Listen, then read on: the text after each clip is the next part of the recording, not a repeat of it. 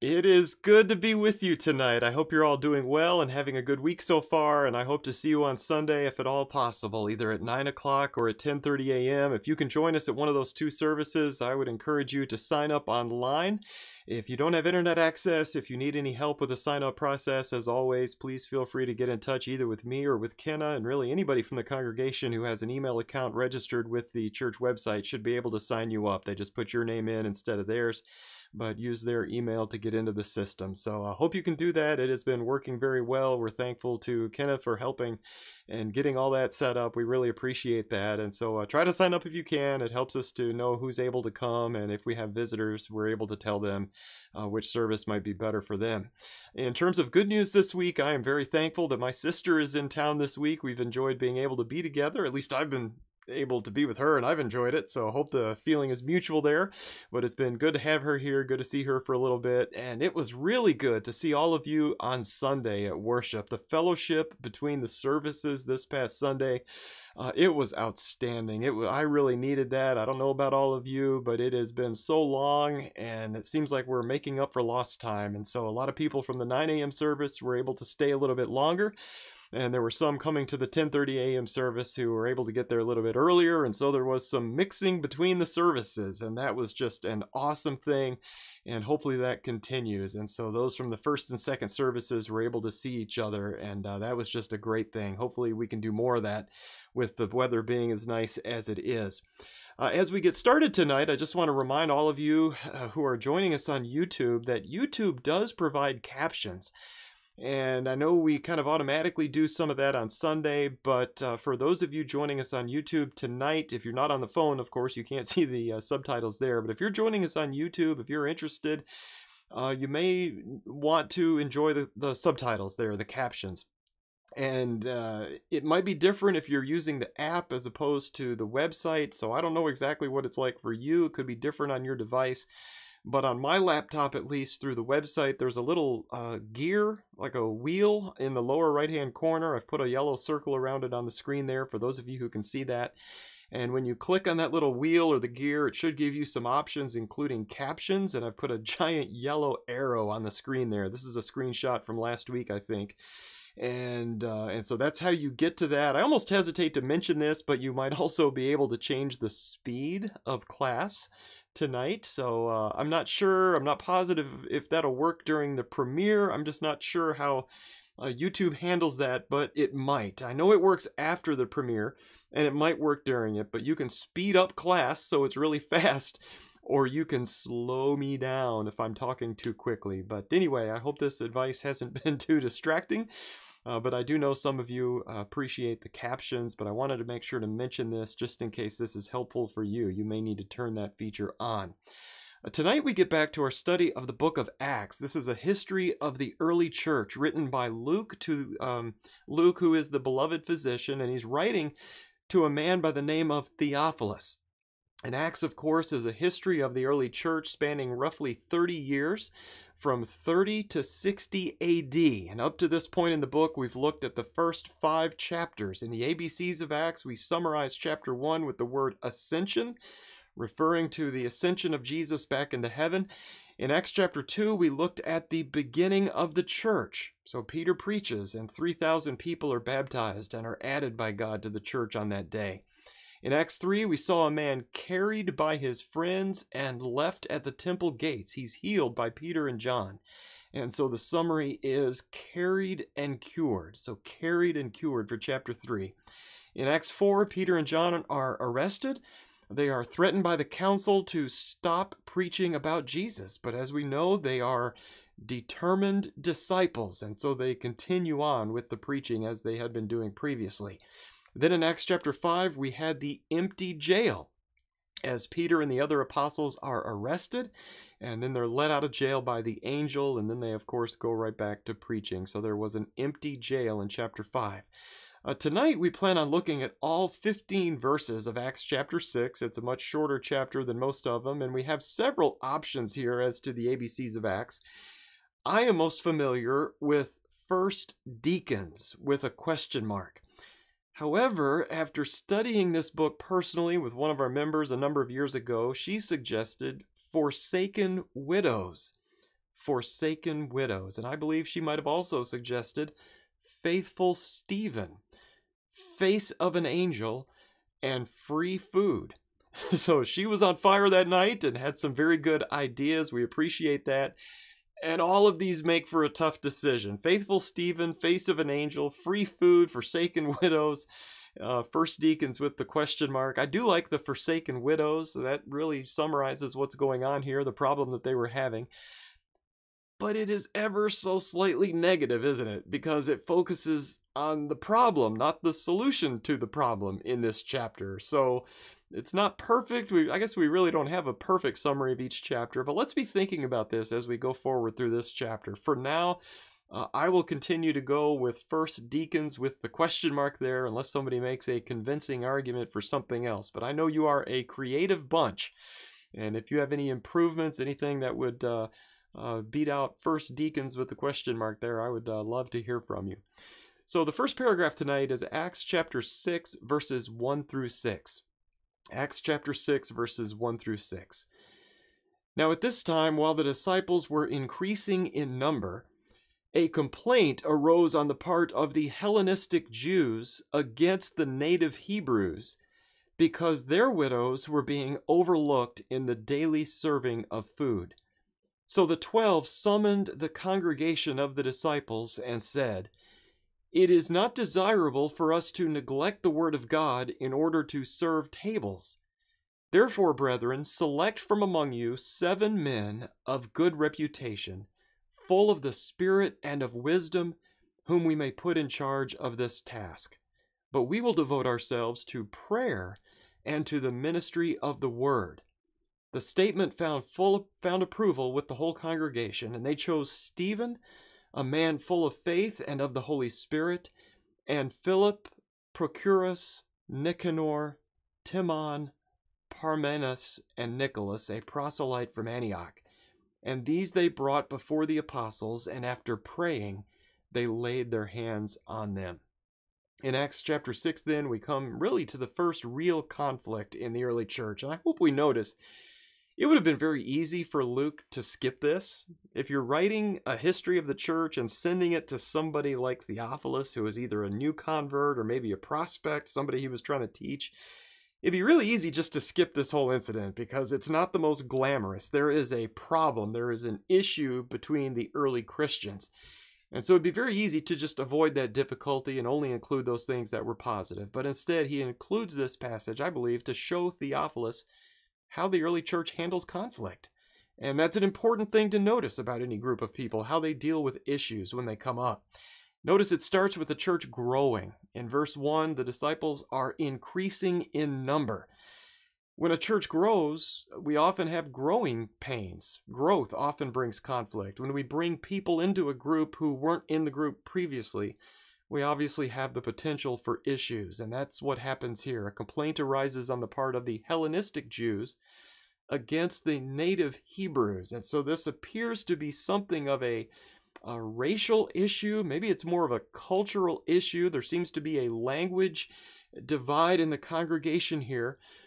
Um, we have Greek speaking, the Hellenistic, that probably refers to their language, their Greek background. So the Hellenistic Greek speaking Jews, they've been added to this group that was made up almost exclusively of native Hebrews, those who were born and raised there in the Jerusalem area. And so there's a language barrier. There's also a, a culture barrier. We have two very different groups being brought together. But what both groups have in common, though, is that they are women. And the other thing they have in common is that all of them have lost their husbands. They are described here as widows. What the two groups do not have in common, though, is how they're being taken care of. There is a discrepancy there. There's a difference between these two groups. And this gives us some insight into what's going on in the church in Jerusalem on a daily basis. From Acts 2:42, we already know that they are continually devoting themselves to the apostles' teaching and to fellowship and to the breaking of bread and to prayer. From Acts 2:46 we know that they are day by day continuing with one mind in the temple and breaking bread from house to house taking their meals together with gladness and sincerity of heart. But we learn here in Acts chapter 6 that they are also apparently feeding the widows. there's some kind of daily distribution of food going on here. So, first of all, I guess as a positive here, let's think for a second about hu- how huge this is. The church is a large group of people here. We're talking 5, 10, 20,000 plus at this point. And we find from this passage that the church is apparently getting together in some way to distribute food on a daily basis. So this is great. They're taking care of their own. And we can hardly imagine this as a congregation really coming together on a daily basis to feed each other. That's a huge program. So uh, some good is going on here. They are taking care of their own. However, whenever there's growth, we also have the potential for conflict. And that's also what we see here. As the church grows, a complaint arose, arises on the part of the Hellenistic Jews against the native Hebrews because their widows are being overlooked in the daily serving of food. And based on this response, it seems that this must be a legitimate complaint. In other words, the apostles don't say, Stop whining about this nonsense, get this out of here. Uh, this is just a made up concern, nothing like that. But this is a legitimate complaint. Once they look into it, they realize, ooh, this is really happening. Along with the complaint, maybe there is some evidence provided. Maybe there's some eyewitness testimony. Yes, I've, I've been going hungry, and these people over here aren't. Or maybe as soon as it's brought to their attention, the apostles realize, oh, wow, we really have overlooked something here. There really is an issue. So, whatever the case, the, the 12 apostles, they bring the church together. So they don't solve this in the dark in a corner or something like that, but they bring it out publicly. They bring the church together. They state the problem. A lot of times it's hard just to state the problem, isn't it? You hear a complaint and it's really not the issue that's the issue but they narrow it down here to the real problem. And then notice they provide some leadership toward a solution. I would also point out that the complaint makes its way to the apostles, doesn't it? If we have an issue with something, we need to bring it to somebody who has the power to do something about it.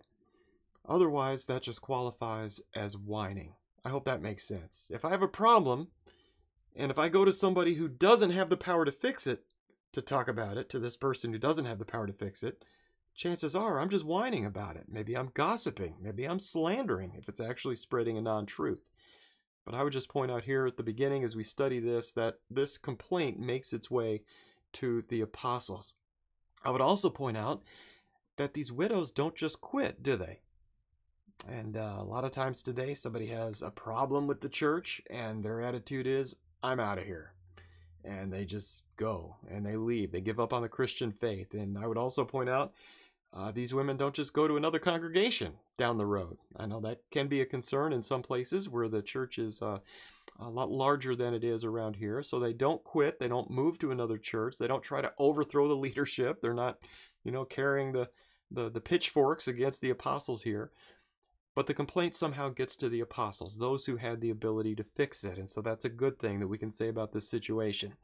And notice the apostles, once they get the complaint, um, they do not say, you know, you're right, we really need to try to do harder. In other words, they don't put this on themselves. They don't beat themselves up over this. They don't readjust their schedules to deal with the situation. But instead, they explain that yes, this is a problem but at the same time, it would also not be good for us to take care of this problem, thereby neglecting the Word of God in order to serve tables. And with this, we need to make sure we realize that the apostles are not saying that serving tables is beneath them in any way. All right? So they aren't just saying, that's not our job. That's not what's going on here as a way of not serving but they realize that as apostles, they are uniquely qualified to teach and preach in a way that really nobody else is qualified. Remember, as we learned back in Acts chapter 1, to be an apostle, uh, the person had to be with Jesus from the beginning, and also they had to be an eyewitness of his resurrection. And so once those 12 men were established, their job is to teach and to preach. That's their number one responsibility. And so instead of them splitting their time between preaching and making sure widows are fed, they have a suggestion here, don't they?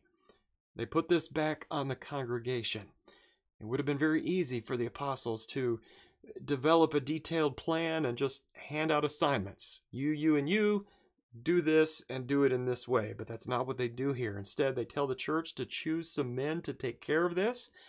And as they explain, they give qualifications.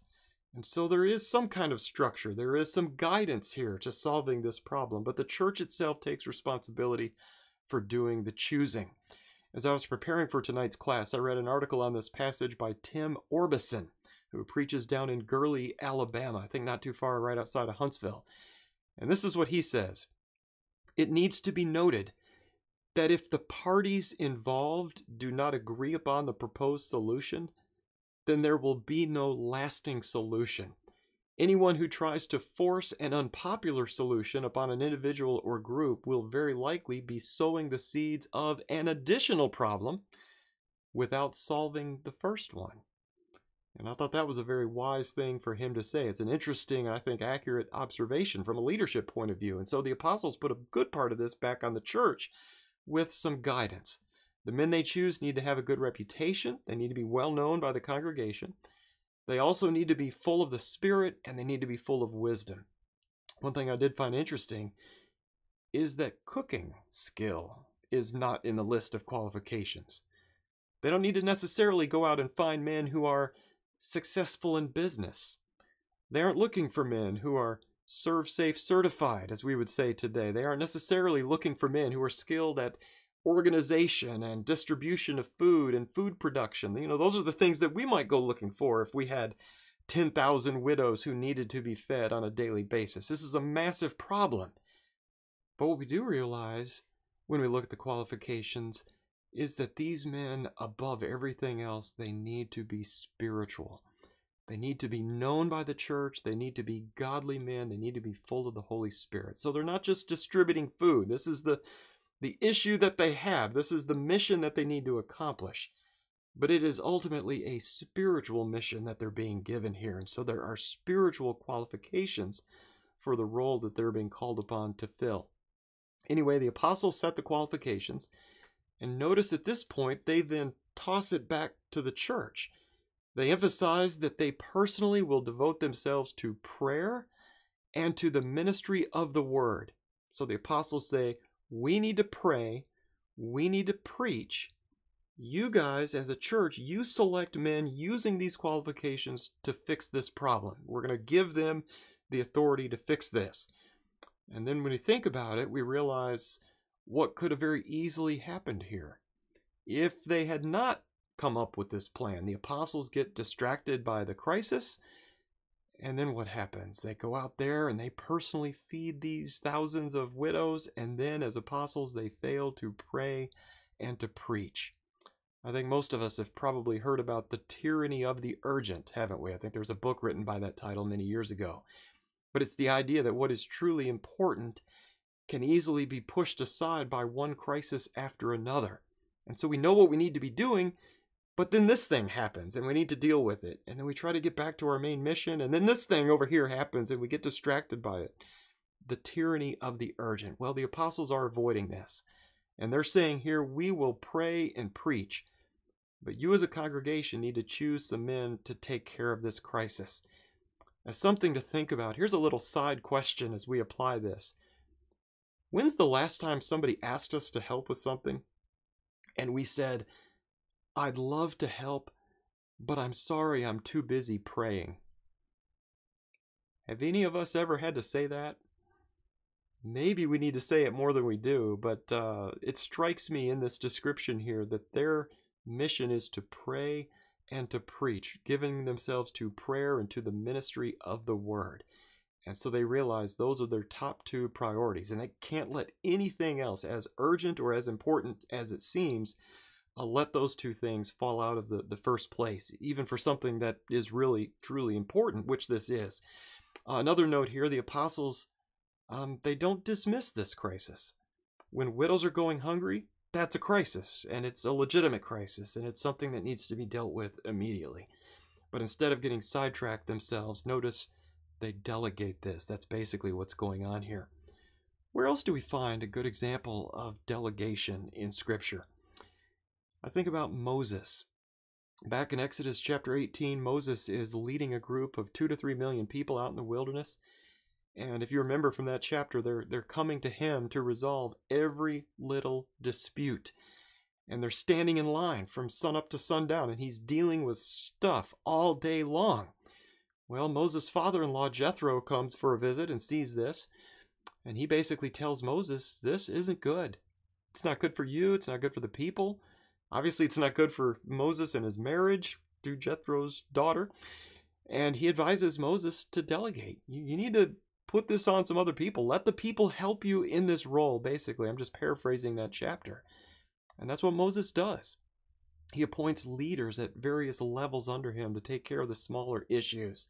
And then Moses is able to pay more attention to the bigger picture, getting the people from Egypt to the promised land. It's not that those other disputes were insignificant or unimportant, but it's that everything was, was too much for Moses to handle effectively on his own. Uh, most of us have heard the old saying, it's better to put 10 men to work than to do the work of 10 men. And I, there's a lot of truth in that, and that seems to be what's going on here in Acts chapter 6. So in verse 5, uh, this plan is approved by the church. Yes, this sounds good. Uh, they choose seven men. They come back with the names Stephen, Philip, Prochorus, Nicanor, Timon, Parmenas, and Nicholas. Uh, beyond just the straight up list of names, we have Stephen described as a man full of faith and of the Holy Spirit. And then we have Nicholas described as a proselyte from Antioch, indicating he was probably a, a Gentile convert to Judaism. Um, what do we notice about these seven names? Anything unique about them? Do we see any Sauls in this list? Any any Josephs? Any Davids? Any Daniels? Any Abrahams? None of that. All of these names are Greek names. What do we learn from this? I've sometimes pointed out studying this chapter that the whiners were the ones chosen to take care of the problem. And I'm half joking with that. I don't mean to say that these men in particular were the whiners. Um, they are spiritually minded men, they are wise and all that. Um, however, with that said, it's interesting to me that the congregation chooses men with Greek names to fix the problem. Um, at the very least, these are men who understand the issue here. They are from a similar racial and cultural background. And also, they would be known and trusted by the women who were being overlooked. These are their people, if we want to put it that way. Not that men with Jewish backgrounds couldn't have solved this problem, couldn't have worked hard, because we know that, you know, they could have done it. But there's a value to having Greeks fix this issue because it is coming from the Greek speaking widows. Um, and I would just briefly mention here that uh, at least two of these men, Stephen and Philip, they go on to become gospel preachers. Um, so their, their work is not limited to the serving of food, but they go on to preach. And um, Philip, in fact, uh, there are several references through the book of Acts where he seems to serve at least 20 years at one congregation in Caesarea. So either he was already qualified to preach beforehand, or uh, serving in this role sparked something in him and gave him more of a motivation to serve. And maybe this was a growing experience to be put in charge of feeding thousands of widows and and seeing the confidence that the church placed on him and so on. And maybe that kind of encouraged him to go on to other things. I think I've uh, seen this in people in my own life. In verse 6, we have the appointment of these men. The apostles give the qualifications, the church chooses the men who meet the qualifications. They are then brought to the apostles, and the apostles recognize them and set them apart publicly by praying and laying their hands on them. And so they're chosen by the church and appointed by the apostles. Uh, by the way, just a brief note on the laying on of hands. I know it's very easy for us to read that, and we assume often that the laying on of hands is tied to miracles. As I understand it, though, there are several examples of the laying on of hands in scriptures, and most of them are not miraculous. Um, yes, the apostles did transmit the, uh, the ability to do miracles by laying their hands on certain people, and yes, some people were healed by having hands laid on them. But we also have examples like this and in Acts 13 1, 2, and 3, where people are recognized and set apart publicly through the non miraculous laying on of hands. And this part of it is something that we can still to uh, still do today. We might lay our hands or put our hands on somebody's shoulder in front of the congregation to indicate this person is being appointed and set apart to fill some special role.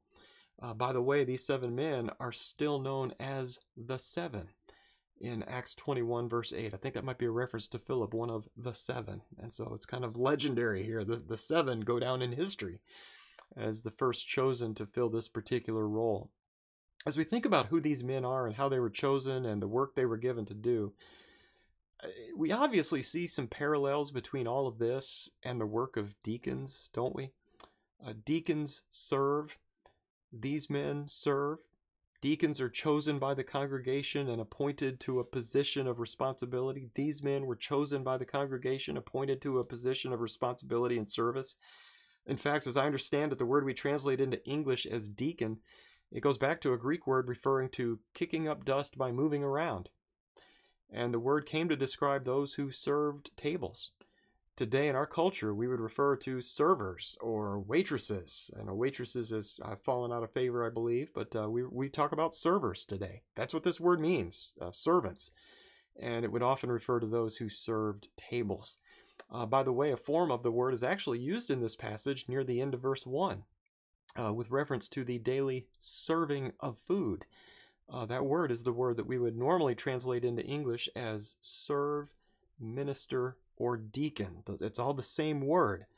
Um, unfortunately, it makes it a little bit confusing. We have three English words that kind of mean the same thing, but the Greek word behind it is the same serve, minister, or deacon. And we kind of need to base it on context as to how we translate it and how we understand it. In this passage, though, these seven men are never referred to specifically as deacons. However, they seem to be doing the work that deacons might do. And there seems to be some wisdom in the selection process. We have qualifications given in Scripture for deacons, don't we? Um, the church finds men who meet the qualifications, and then perhaps the elders formalize and publicly approve that decision. And so there are, there are some parallels here. Uh, some have described these men as forerunners of deacons. I think my dad suggested that just a few weeks ago uh, when I was asking him for advice on uh, on F in chapter six here, forerunners of deacons. Um, sounds a little bit strange though; it doesn't quite roll off the tongue. Forerunners of deacons, but it would be an accurate summary of Acts chapter six. As I guess I would go back to first deacons with the question mark, but I always have to put the question mark there. I don't want to say these were the first deacons because they're not specifically described in that way, but certainly they're doing the work that deacons uh, would would tend to do today. So uh, they they seem to be serving in that capacity. But forerunners of deacons might be a good description. Uh, I would make the same point about deacons that I made earlier about these seven men. Uh, they might do more of the physical work of the congregation, but their qualifications are spiritual. And that's true today. Deacons serve, but their service is critical to the growth and the health of the congregation. I know through the years I've heard people suggest that elders take care of spiritual things, deacons take care of physical things. But that is not really accurate. I, I understand the thought, I understand the feeling behind that, but I would emphasize here, biblically speaking, everything the church does is spiritual including the feeding of widows. Let's continue on tonight with Acts 6, verses 7 through 15. And this is the last half of this chapter. Acts chapter 6, verses 7 through 15. The word of God kept on spreading, and the number of the disciples continued to increase greatly in Jerusalem, and a great many of the priests were becoming obedient to the faith. And Stephen, full of grace and power, was performing great wonders and signs among the people. But some men from what was called the synagogue of the freedmen, including both Cyrenians and Alexandrians and some from Cilicia and Asia, rose up and argued with Stephen. But they were unable to cope with the wisdom and the spirit with which he was speaking. Then they secretly induced men to say, we have heard him speak blasphemous words against Moses and against God. And they stirred up the people, the elders, and the scribes, and they came up to him and dragged him away and brought him before the council. They put forward false witnesses who said, This man incessantly speaks against this holy place and the law. For we have heard him say that this Nazarene Jesus will destroy this place and alter the customs which Moses handed down to us. And fixing their gaze on him, all who were sitting in the council saw his face like the face of an angel. Basically, verse 7 tells us that the plan for handling the hungry widow criticism works, doesn't it? So, problem solved. Instead of derailing the growth of the church, they fixed the problem. And the church continues to grow. And I would imagine this would be quite impressive to outsiders. These people take care of their own, they don't leave them hungry. Uh, their numbers are increasing greatly. We also know that a great many of the priests were becoming obedient to the faith, which is just amazing. There were thousands of priests serving in, in Jerusalem, and they were insiders. They knew the law of Moses uh, more than anybody.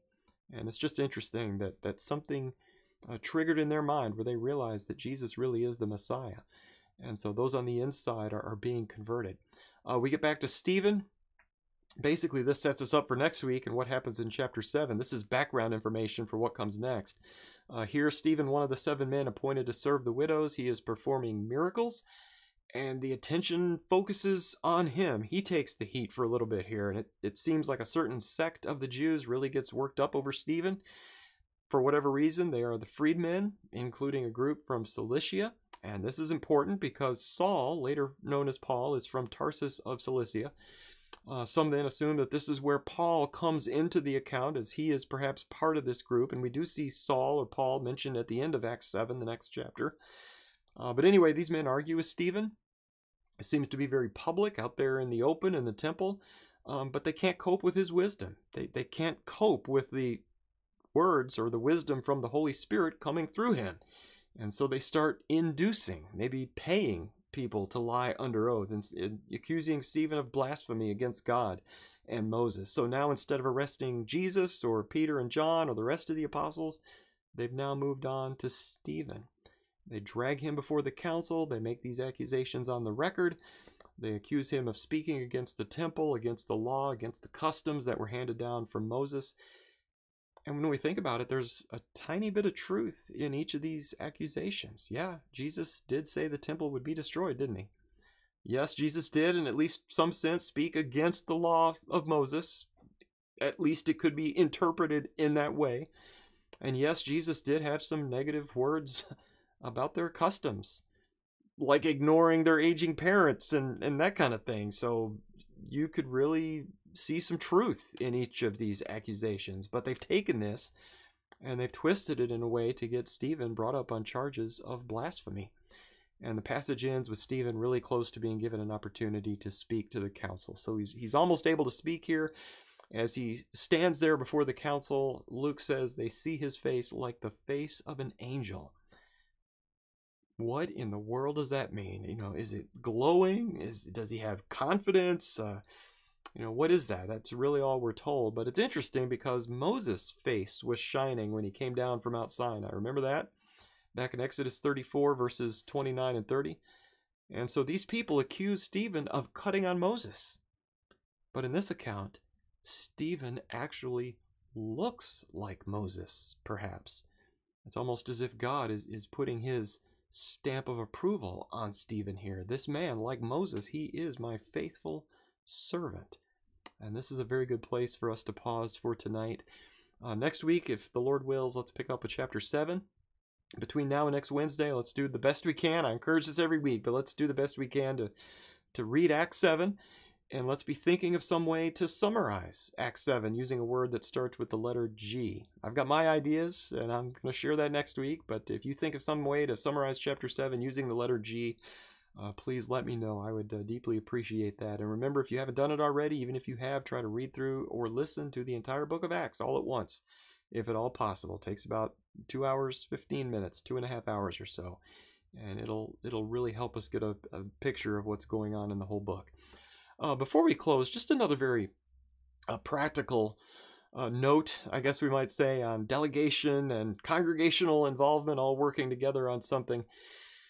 Uh, we have been extremely blessed as a congregation with a church facility. That that has not always been the case. For a number of years, we rented. We rented an elementary school. We only had that room for three hours, nine to noon every Sunday, and we didn't have much responsibility. We had to put out chairs and take down chairs, and that was about it. Um, but since we purchased a building back in October 2001, we've been blessed with several people in that time who have taken on the mission of cleaning our facility on a regular basis, sometimes for years at a time. And uh, right now, we're looking for some of you to take this on a month at a time so it doesn't become a, a burden on one person or one family from here to eternity. We don't want to make this a life sentence. It is a huge responsibility uh, to clean the church building every week for the rest of your life. That's a lot to ask. So, I mean, if you really want to, I guess, but uh, but we'd like to divide that out on a monthly basis and see how that goes. Uh, this is a burden that we can share, and it is a great blessing. Um, my parents have taken the month of May, and um, they should not take the month of June. And if you're able to step up and take the month of June, that would be an awesome thing. And uh, and then July and August and September, if we could get this nailed down to where we know who's going to be cleaning the building for the rest of the year, um, that would be great. We have a simple checklist inside the door of the broom closet at the top of the stairs at church. It's not a, a difficult thing. Um, some of you know that the three elders sanitize surfaces uh, three times every Sunday. I clean everything, everything that we touch, I clean before the first service. John comes in, he wipes everything down between the two services, and then Aaron comes in and he wipes everything down after the second service. Um, but we need all of us to step up a month at a time to do the rest, to, to vacuum and clean the bathrooms and take out the trash. Um, if you can help, let me know. I'll have a sign up list in my Bible on Sunday. Um, between now and then, send me a message. Talk to me personally if you want to jump in for a month. As more of us are coming back together, I know we've gone a year without needing to do a lot of physical things like that. Um, but this is one way that we can help as we start to come back together. And really, even if you are not yet with us in person, this is one way you can serve behind the scenes. Uh, go over there. in the middle of the day or whatever when nobody's there don't have to interact with other human beings and serve behind the scenes in that way or feel free to team up with somebody else for a month another single another young couple another elderly couple or whatever and uh, team up and share a month. But uh, anyway let me know. And uh, thank you so much for considering it. Uh, thank you for taking the time to study together tonight. I hope to see you at worship on sunday either at 9 or 10.30 this would be a great time to sign up. Let me know if i can help. Let me know if you have something we need to be praying about. Uh, let's close tonight by going to God in prayer. Our Father in heaven, thank you for making us a part of your kingdom, the church. Thank you for making us a part of your family so that we can learn how to love each other. As we face problems, we pray that we might handle these situations the way your people did here in Acts chapter 6 by listening to concerns, by bringing those concerns to the proper people, by responding to those concerns with love and with grace and by continuing on with prayer and preaching and the teaching of your word. Tonight we're thankful for the courage of your servant Stephen, and we learn more about his this man next week as we study his life. We pray that we might be willing to learn from his example in particular. Thank you, Father, for hearing our prayer. We come to you tonight in the name of Jesus, our Savior. Amen.